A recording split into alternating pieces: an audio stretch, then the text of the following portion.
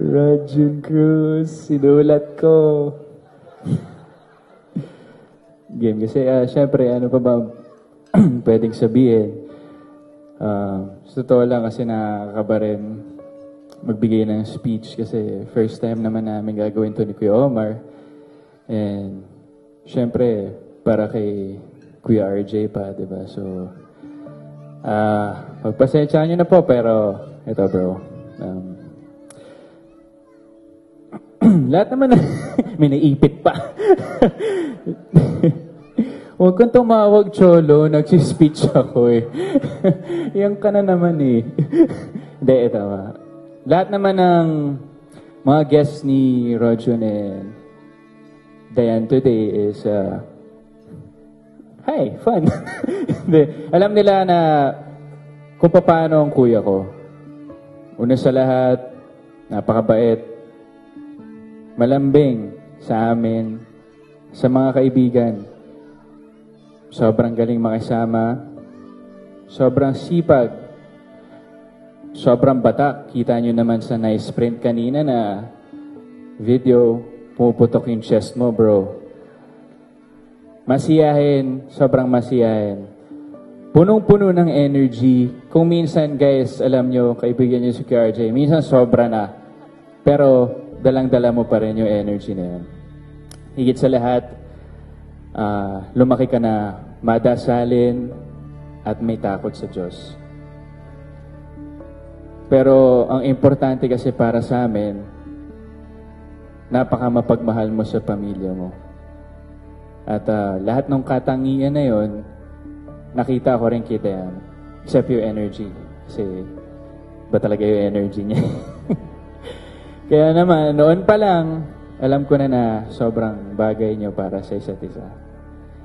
Kahit na in-invite, in-invite mo si Dayan sa 18th birthday ko na hindi ko naman ini-invite si Dayan. Nakita ko si doon sa birthday ko, ba't siya nandito? Tapos tumingin ako kay Rojo, sabi ni Rojo, mga si Rojo, sabi ko, iba rin talaga kasi nakasayaw ko si Dayan dati, pero di naman kami close. Tapos, yung 18th birthday ko, papaparty ako. Pagdating ko, ay, ay, hey, hello, hello. Hey, Ben. Ah, alam ko na. Sabi ko, noon pa lang, alam ko na na sobrang lakas na ng tama mo kay Dayan. okay. Yun, alam nyo. Pero ang mga hindi nyo alam, sa Kuya Rojun ko, marami pa. Simulan ko na sa mga simple. Si Kuya Rojun, hindi marunong maghimay ng isda hindi niya kaya kumain ng isda mag-isa, nagpapahimay siya sa kahit sino sa amin sa bahay. Hindi siya marunong magtupi ng damit. Good luck there. Hindi siya marunong magtupi ng damit. Ako nagtutupi minsan. Pero, di ba? Galing eh. Tapos, yung mga medyas yan, pag galing sa gym, kakalat lang niya kahit sa parte ng bahay. Magugulat na lang ako, nakakalat, tapos mga sapatos nakakalat, di ba? Good luck ulit, Ben. Ay, nako. Pero, ito yung pinaka, pinaka, laging nangyayari sa amin ni Kuya RJ. Sobrang kulit niya lalo na pagdating sa mga captions niya sa Instagram. Sobra. Hindi siya titigil na tanungin ka kung tama ba kahit alam naman niya na tama yung mga captions niya. Kahit naman alam niya na mga tama yung tito captions niya, tatanong pa rin niya, Bro, okay lang ba? Ganito yung caption ko. Ten times yan. Minsan sobra pa kasi hindi talaga siya titigil hanggat walang, walang approval na, ay tama yan bro.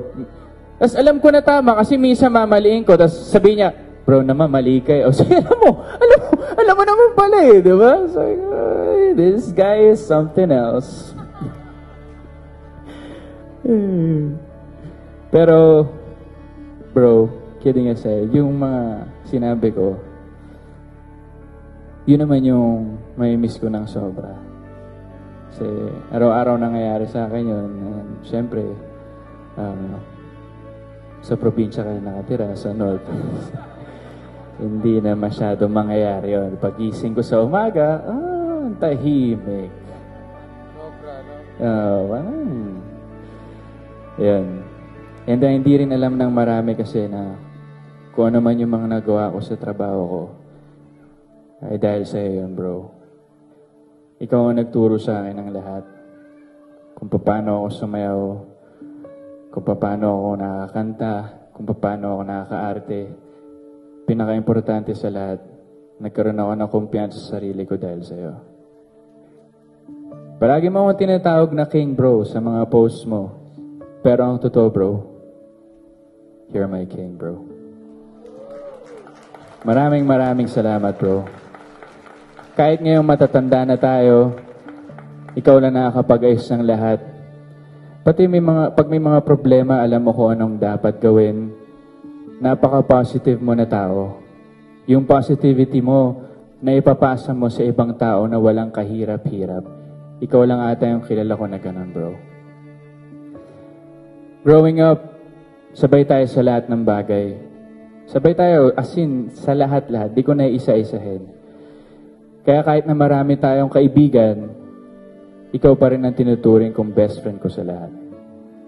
And I'm sure si Kuya Omar, ganun din. At ang pinaka higit sa lahat, sa ating tatlo, ikaw ang super best friend ni Mama. Napakabuti mong anak, Kuya RJ. Kung meron mang perpektong anak, ikaw na siguro yung bro.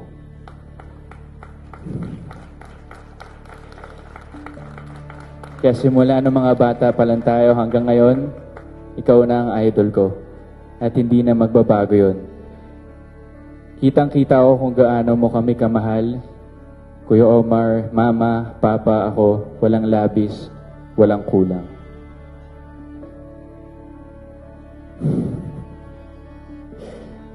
Bro, araw-araw nagpapasalamat ako sa Panginoong Diyos na ikaw ang naging kapatid namin at ikaw ang binigay niyang kuya para sa akin. Sigurado ako, sobrang proud na proud si Mama at si Papa sa'yo ngayon. Kasi lumaki ka isang mabuting tao, kaya naman sure ako na balang araw, magiging isang mabuting magulang ka rin sa mga maigi anak ninyo ni Dan. Balita ko ang sinabi mo sa akin, 5 or 6 daw ang gusto mo, so good luck ulit there happy family. Brother, wala na ako ibang masasabi pa sa'yo.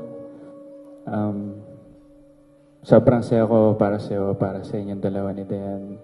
Um, na-witness ko rin ang lahat bilang sobrang close natin.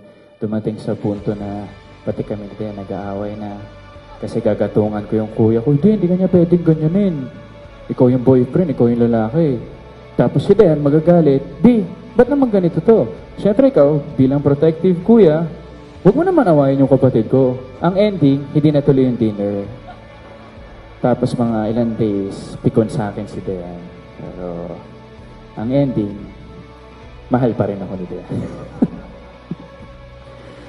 um, sobrang excited ko sa magiging bagong chapter ng buhay ninyo bilang mag-asawa sa magiging future family ninyo.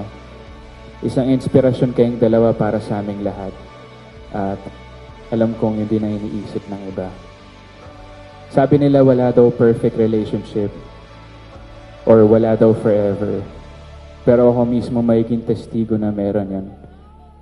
At yun ang samahang Dayan Medina at Trojan Cruz na ngayon ay Mr. and Mrs. Illustre na. Ang tunay na relationship goals. Congrats, brother, and my sister Dayan Medina. Hindi ko na, sasabihin ko na kasi maganda pakinggan eh. Then, welcome to the family. I love you guys.